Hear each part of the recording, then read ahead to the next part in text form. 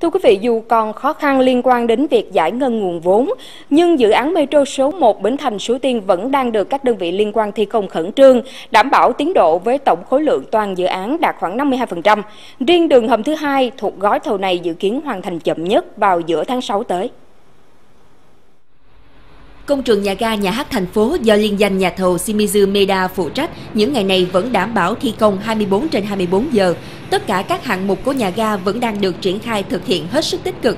Toàn bộ kết cấu chính của nhà ga hiện đã hoàn thành 90% và phần sàn của cả 4 tầng hầm cũng đã hoàn tất 100% khối lượng.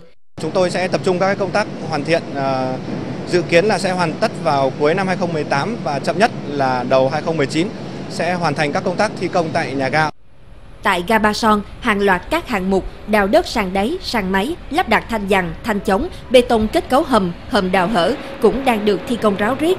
Đặc biệt đường hầm thứ hai từ ga Ba Son đến ga nhà hát thành phố sử dụng robot chuyên dụng TBM thi công bằng phương pháp cân bằng áp lực đất. Đến nay đã khoan được 540 trong tổng số 781 mét. Kỳ vọng rằng giữa tháng 6 thì chúng ta sẽ hoàn thiện việc thi công hai cái đường hầm đầu tiên. Đường hầm thứ hai thì à, tương nó thuận lợi hơn bởi vì là các đội ngũ công nhân à, kỹ sư đã quen việc rất nhiều rồi. Thì sau khi xong hai đường hầm thì chúng ta tiếp tục là hoàn thiện việc đổ bê tông đáy hầm, rồi lắp đặt đường ray và các hệ thống chiếu sáng hay thông gió. Xây dựng ngầm từ ga nhà hát thành phố đến ga Ba Son là một trong những gói thầu xây lắp chính của dự án Metro số 1 Bến Thành Suối Tiên. Cho đến nay, gói thầu xây dựng đoạn trên cao và depot cũng đã hoàn tất cầu cạn phần dầm u lắp ghép, đã hợp long 3 trên 5 cầu đặc biệt và xong kết cấu bê tông cốt thép tất cả 11 nhà ga. Gói thầu mua sắm thiết bị cơ điện, đầu máy toa xe, đường ray và bảo dưỡng, khối lượng thi công tổng thể hiện đạt khoảng 28%. Gói thầu còn lại phục vụ công tác vận hành và bảo dưỡng cũng đang được các đơn vị liên quan thực hiện gấp rút.